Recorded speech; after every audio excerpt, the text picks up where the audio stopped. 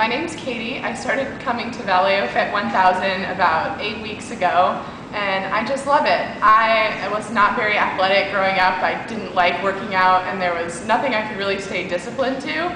But the first time I came to this, it was fun, it went by quickly, and I really enjoyed it, and I can definitely already tell the difference.